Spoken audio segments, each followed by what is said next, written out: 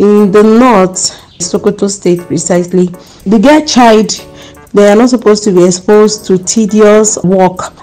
People reacted to my father teaching me as a female the auto body repair work. I remember there was a time one of my daddy's customer then he was like, How will you put a little girl just growing up, just put her to do this kind of work? No, no, no, this one is pure madness. But over the years, people tend to want me to work more on their cars compared to the main folk.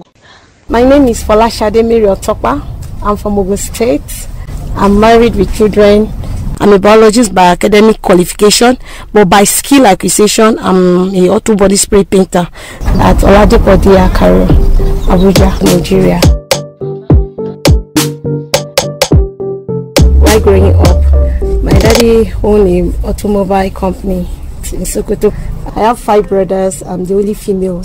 So after school hours, we resume to the workshop every day because uh, the kind of training my dad gave us is that from nursery school to secondary school, you will take care of your education, but once you're in university, you have to sponsor yourself. And the only means of sponsoring yourself is for you to have the skill to know the job. So we have different section in the auto body repairs. So I went in for the painting because for me, I have passion in painting. That's how I started from my childhood till I graduated in university and also in the job. I did my freedom. I was given a certificate, got married, and here I am in Abuja.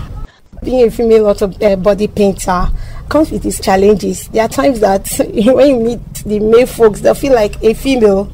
Can you do this? Even at that, I still try to put in my best people look down the job because they look at the job as being dirty for street people but it's not like that I will even encourage my daughter to go into auto body spray painting work because it's a skill which you can add to your qualification.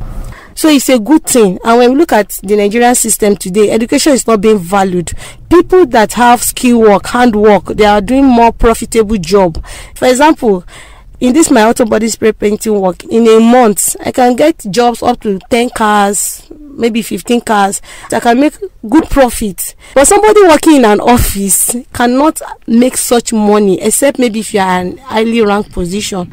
So to me it's awesome being a female auto body painter